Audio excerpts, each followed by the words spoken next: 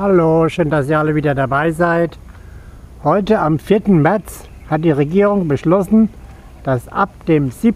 März die Einreise auf Bali ohne Quarantäne und mit dem VOA-Visum wieder möglich ist.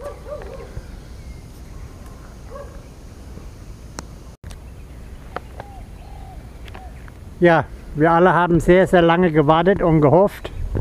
Seit Mitte März 2020, also fast genau seit zwei Jahren, war Bali ja geschlossen für den Tourismus.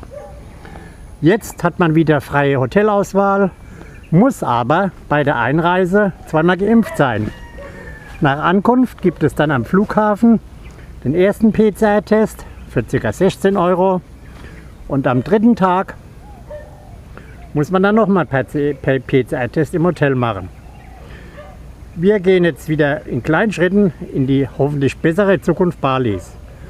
Meine balinesischen Freunde und ich sind sehr glücklich und hoffen, dass ihr Bali bald besuchen kommt. Wir freuen uns wirklich sehr auf euch.